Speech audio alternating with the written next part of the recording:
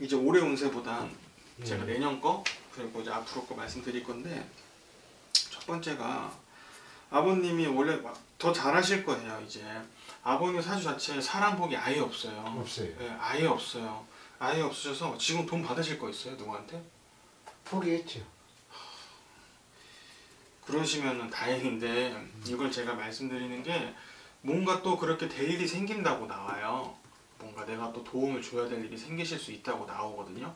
그래서 이거를 아버님이 안 하셔야 돼. 지금은 당연히 아, 안 해야지 이런 생각이 네, 드시는데 그때 갔을 때 내가 또 이렇게 해줘야 될 수 있을 생각이 드실 수도 있어요. 이게 내년이거든요.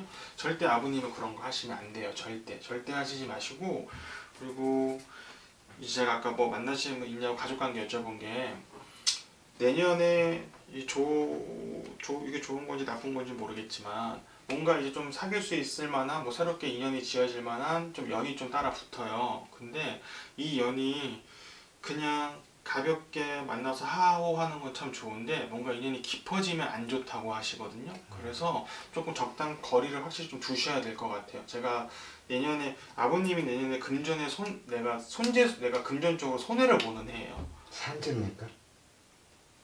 네.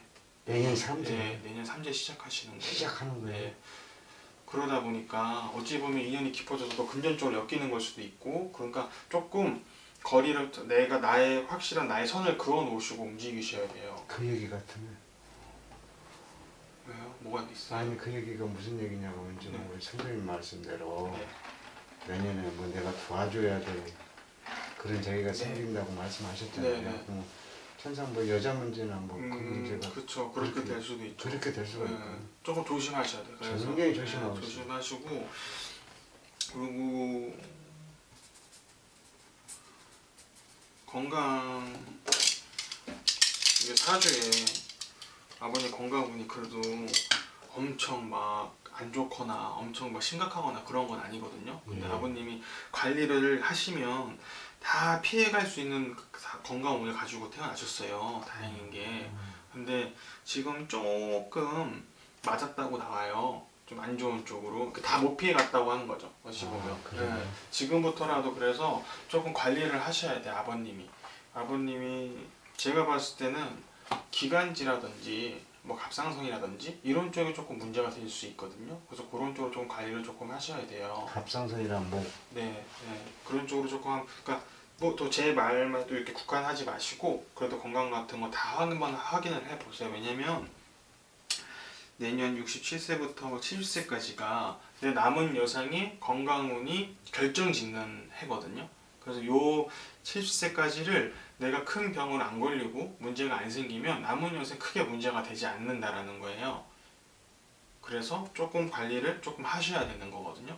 그리고 내년에는 아버님이 그래도 새롭게 뭔가 시작하고 뭔가 즐겁게 하실 수 있는 일자리라든지 아니면 뭐 일이라든지 행동이라든지 이런 게 생길 수가 있으신데 아무래도 그러다 보면 사람이 꼬이게 되고 그러다 보니까 금전의 손질수가 좀 따르다 보니까 좀 사람도 어느 정도 선을 좀 지켜놓고 만나시고 친구가 됐든 뭐가 됐든 그렇게 하셔야지 67세를 그런 식으로 내가 손재수를 좀 풀지 않고 맞지 않고 넘기셔야지 내가 남은 여생 좀 편하게 가실 수 있거든요. 그러니까 음,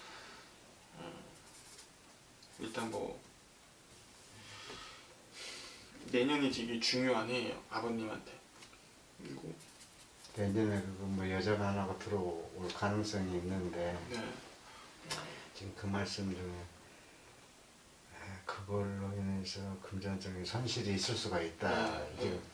근데 너무 여자한테 국한되지 마시고 네, 뭔가 네. 뭐 친구들이 될 수도 있고 뭐 그럴 수가 있기 때문에 그냥 전반적으로 다 조금 신경을 조금 쓰세요. 네, 네.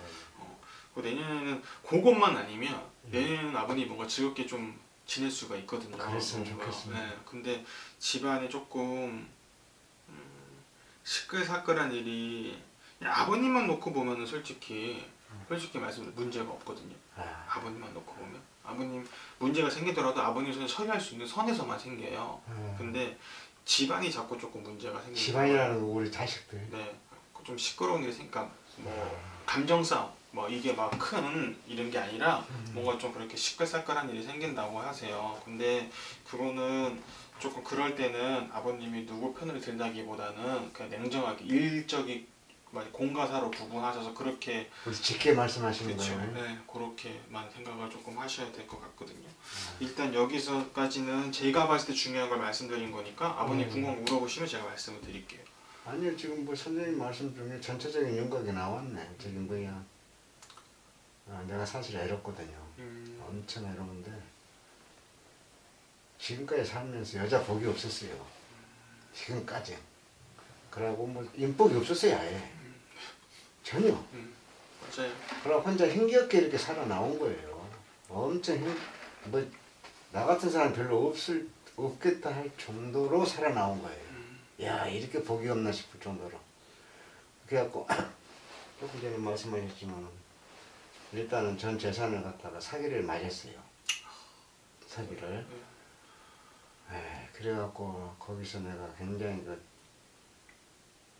포기, 모든 걸 다 포기할 음, 그런 마음이 있었는데 또 새끼들이 또 어려서 앞을 가리고 그래서 지금까지 되는 일도 없고 그 후로는 되는 일도 없고 안 되는 일도 없고 무덤덤하게 이렇게 살고 있는데 그래서 오늘 내가 제일 궁금해서 내가 왜 이렇게 맞춰야 되나. 음, 여태까지 내가 참말로 복이란 복은 맛을 못 보고 살았는데 말년에 뭐 이렇게 마무리를 인생을 해야 되나 싶어갖고 아버님 지금 무슨 일 하세요?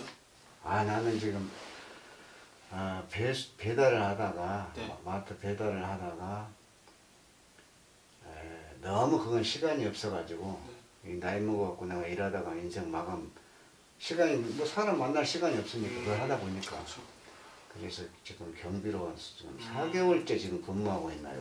5, 개월 이달 15일은 5개월이네요. 음, 경비로 지금 5개월 하고 있어요. 음, 시간은 많은 거. 오늘 또요 배달을 했으면 오늘 여기 못 오는 거예요. 음, 경비를 하니까 오는 거예요. 시간이 있으니까. 일단 그래서 그게 음. 제일로 궁금해요. 이대로 말아버릴 건가? 음, 이거 내가 태어날 때 잘못 태어난 건가? 아니에요. 그런 건 아니고 음,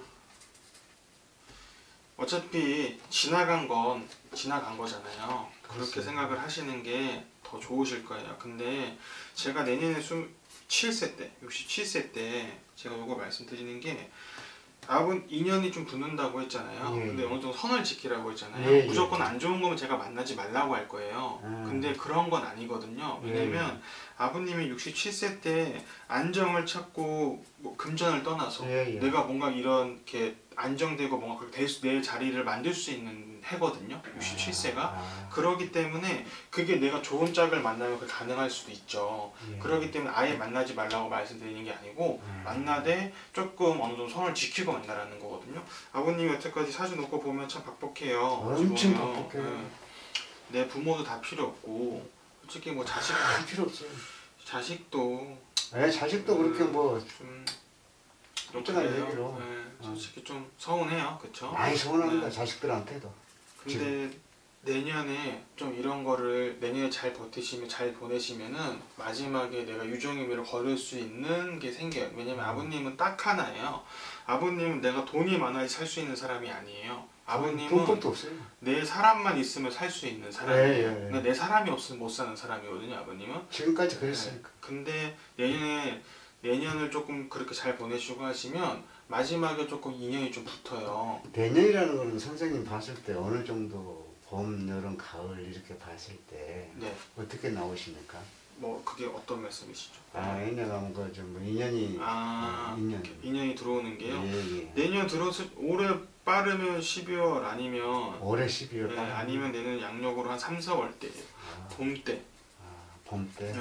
그래서 그냥 잊어버리고 지내시다가 예. 뭔가 좀 들어오신다 하시면은 예. 조금 그래도 한 1년은 좀 만나보시고 뭔가 좀 결정을 뭐 마음을 좀 많이 좀 주신다거나 어느 정도 좀 그게 좀 있어야 돼요. 너무 왜냐면 좋은 인연이 들어올 때 꼭 나쁜 인연도 같이 들어와요. 그렇죠. 네, 예, 그래서 맞아요. 판가름을 잘 하셔야 돼요. 그래서 음. 내년까지는 그냥 어느 정도 선을 지키고 이렇게 한다 생각을 하시고 그렇게 내년 말쯤 돼 제가 봐서 내년 가을만 돼도 아버님 판단이 있으실 거예요. 누가 있, 있거나 그러면 그래서 67세를 잘 보내시고 건강적인 것도 신경을 쓰셔야지 70이 이게 뭐 저는 안 겪어봐서 모르지만 어르신들 말씀하는 게 말년이 좋아야지 사, 정말 바, 뭐 좋다고 하거든요. 맞아요, 근데 맞아요. 아버님이 지금까지는 너무 힘드셨지만 너무 힘들었어. 70세 들어가면서부터 많이 풀려요. 아이고 이제 다 늙어서 보여. 그래도 그게 어디 아직 그렇죠? 멀었네. 근데 요 60, 내년이랑 내후년에 문제가 안 생겨야 돼요. 그래야지 풀리는 거예요. 대년이나 네. 2년 동안. 네, 요 때까지만 2년 동안만 금전이나 뭐 이런 부분은 아예 그 사람에 대한 기대도 만약에 안 하시고 그냥 오로지 나만 생각하셔서 조금 우- 움직이신다고 생각을 하셔야 돼. 그래야지 내가 70 지나서 70 돼서 술술 풀려 나가는 거거든요. 그리고 건강을 필히 꼭 신경을 쓰셔야 돼요. 건강은 저기 뭐야 좀 한한 10년 전에 저기 암 수술을 받았어요. 음, 그럼 그걸로 액땜이 된 거 아닌가? 아니 아니요 계속 조심하셔야 돼요. 계속? 계속 조심하셔야 돼요. 어, 그걸 그렇게 생각하시면 안 돼요. 병 키우는 거거든요. 그래서 아버님은 아버님 같은 분은 앞으로 한 3년 아니다 그냥 매년 매년 조금 확인을 하셔야 돼요. 예, 그렇게 네, 하겠습니다. 그렇게 하셔야지 내가 이 마지막 남은 말년을 진짜 편하게 보내실 수가 있어요. 음. 어, 그래도 다행인 거는 짝이 있다라는 거예요. 인연이 좀 들어오는 건데 지금까지는 없었어. 마누라하고 사고서도 그렇게 뭐 되면 되면 그렇게 살다가 마누라가 먼저 갔으니까. 그것도 뭐 에, 한 20년, 한 30년 전에 이혼을 한 애들 엄마니까. 그, 그것조차도 음, 그러고 이렇게 뭐 애들 키우면서 이렇게 살은 참 엄청나게 힘들게 살았습니다. 아버님 키우셨어요? 예, 예. 엄청 이런 그러니까 조금 전에 제가 드린 말씀이 나처럼 힘들게 산 사람이 과연 몇 명이나 있을까? 돈복도 없어요. 금전복도 없죠. 인복도 없죠. 꼭 조금 모아놓으면 가져갈 사람이 생겨요. 안 주셔야 돼요. 근데 그쵸 쉽지 않죠. 내게 안 어. 되려고 생겨. 어. 그게 그렇게 살아왔어요. 이 젊으셔서 되게 젊으셔서 저를 보러오셨으면은 네. 이런 일들을 방지하기 위해 예, 예. 운명을 조금 바꿀 수 있죠. 아, 좀 그래요? 비교가 할 수가 좀 있거든요. 뭐 말 그대로 뭐 신한테 공을 드린다거나 뭐 이런 음. 건데 지금은 그렇게 하는 건 의미가 없어요. 예, 예. 그래서 내가 조금 조심하고 근데 지금 다행히 들어오는 이렇게 나쁜 운이나 좋은 운들을 나쁜 운을 내가 못 피해가는 직격타로 들어올 때가 있거든요. 예, 예. 그럴 때는 제가 무조건 뭐라도 하라고 해요. 아 근데 지금 선생님께서 예, 예, 예. 어, 이 근데 자리에서 네, 근데 지금은 이 운이 내가 조심하면 비껴갈 수 있는 운이기 아. 때문에 제가 제가 조심하시고 주의하라고 말씀드리는 거거든요. 음. 그렇게 내년 내후년 딱 2년 정도만 내가 조금 긴장하고 내가 조금 나를 위해서 조금 조심하신다고 하시면은 69세, 70세, 69세만 들어가면서부터 조금 조금씩 숨이 좀 트이실 거란 말이죠. 음, 조금 조금씩. 네, 모든 면에서 금전적인 것도 그렇고. 그렇죠. 음, 엄청 막 부유하게 된다거나 뭐 이런 건 아니겠지만 그 내가 사는 거에 있어서 크게 문제가 된다거나 그러진 않으실 거란 이제 와서. 무슨 부유하게 되겠어요? 이제 와서. 모르는 거죠. 또 어떻게 뭐 벌어처럼 없었던 보도 뭐, 뭐야. 저기 뭐야 복권을 당첨해줄 수 있는 거니까 어. 그렇게 좋게 생각을 하셔야 돼요. 그렇게 하겠습니다. 이게 제가 항상 다 모든 분한테 말씀드리는 건데 예. 아무리 내가 운이 좋아도 내가 너무 긍정적이지 않고 너무 좀 비관적이잖아요. 비관적이에요. 그러면 그 운을 내가 못 가져가요. 진짜 신기해요. 그래서 사람이 아, 그래요? 옛말에 다 그런 말들이 있잖아요. 사람이 긍정적이게 마음 먹어 일도 잘 풀리고 진짜 마음 하기 나름이거든요. 그래서 아버님이 내년에 운이 좋게 들어오는 거예요. 근데 좋은 것도 항상 나쁜 것도 같이 들어오다 예, 보니까 맞아요. 그래서 아버님이 첫 번째는 하셔야 될 게 조심하는 것도 있지만 내가 조금 마음을 좀 긍정적이게 좀 먹으시고 좀 가볍게 먹으셔야 돼요. 너무 막 무겁게 생각하고 이제 와서 지금 솔직히 이 연세에 고민하실 필요가 뭐가 있어요? 고민이 많이 됩니다. 내 자식 새끼도 알아서 잘 먹고 잘 크고 그, 더 이상 이제 자식들을 신경 쓸 필요가 없는 거예요. 이제는 지금 다 성인이잖아요. 예, 예. 다 끝난 적이니까 자기는 내 자기 알아서 하는 거고 이제 아버님 이제 아버님만 놓고 아버님만 놓고 사시면 돼요. 근데 거짓말이 아니고 기분 좋으라고 드리는 말도 아니고 운이 들어오다 보니까 조금 긍정적으로 생각을 하시고 아이고, 좋게 좋게 하라고. 말씀드리는 거예요. 그러니까 이제 뭐야 금전적인 거나 그뭐 연인 여자 쪽 네. 그것도 이제 뭐 운이 들어오니까 그것도 아마 이제 비치겠지요. 네. 예, 비치고 없고 건강만 좀 조심하고 네, 그걸로 건강 인해 갖고 조심하세요. 어, 혹시라도 어떤 또 빌려줄 돈 금전적인 것을 또 빌려줄 기회 그게 생기면 절대 한 번더 네. 우리 선생님 말씀 생각하고 네, 이게. 없는 말 하는 게 아니거든요 이런 자리에서 네, 그렇죠. 그래서 그 그거네 삼재는 올해 들어와 있었습니까?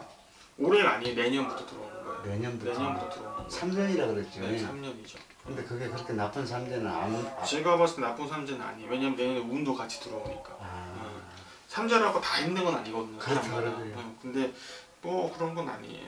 어. 음, 아 그렇구나. 좋은 얘기만 들었습니다.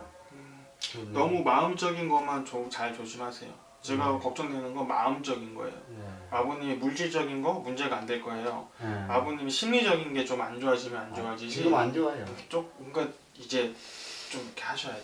네. 비관적인 생각. 그러고 저 하나만 여쭤볼게요. 아, 언제부터인지 모르겠지만 그전에는 그런 기억이 없는데 잠만 자고 날이만 날마다 꿈이 꿈을 꿔줘요. 음, 꿈을 꿔지는데 또 어떤 거는 기억이 전혀 없고 꿨다는 아침에 일어나면 꿨다는 거. 네. 아, 어쩌니도 내가 꿈을 꿨구나. 네.